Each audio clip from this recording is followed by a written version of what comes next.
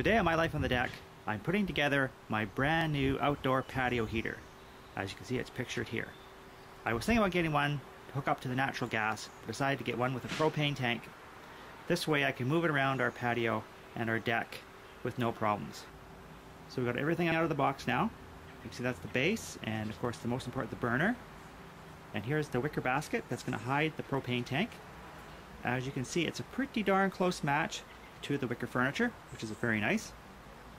We've got the tube, then the reflector at the top, the hardware, and of course something to make it really easy for us to move this thing around, we've got the wheels. I think I found the first problem. There's a warning here, so make sure you read it carefully. Hopefully we can find someone competent enough to put this puppy together. And I think we found him! We found Casper! A competent installer! Uh-oh.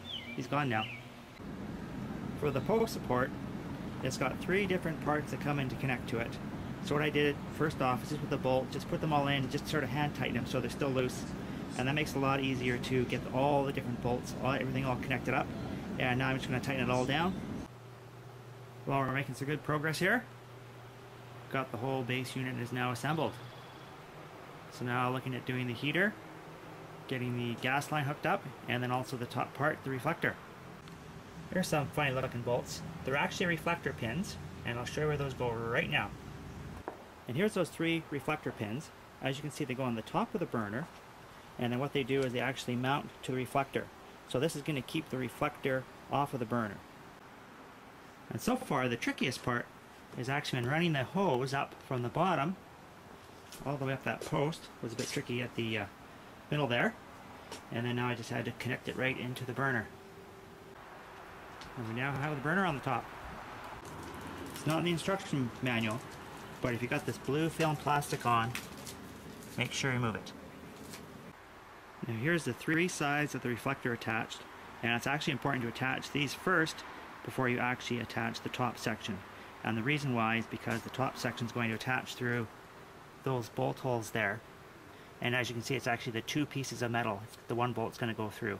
So that's why you want to have the reflector sort of assembled before you put the the final top piece on over there on the very top. And here's uh, one other important thing to note is the attachment of how you put in the bolt and the nut. You actually want the nut piece on the top. And here's the fully assembled reflector. Leanne had a really good idea too to put the top hat on the reflector got a ladder out. So very handy. As you can see now, the propane tank is uh, inside the unit and it's all connected up. And just ready to start it, which is great because the sun's gone down and it's getting a little cool out. It's time to get some warmth on this deck. And here we go, we've got heat.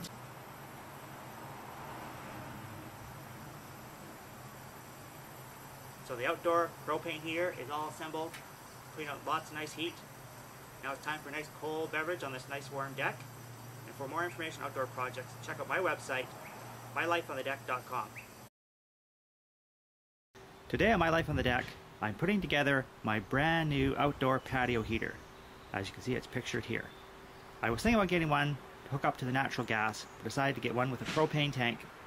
This way I can move it around our patio and our deck with no problems. So we've got everything out of the box now. You can see that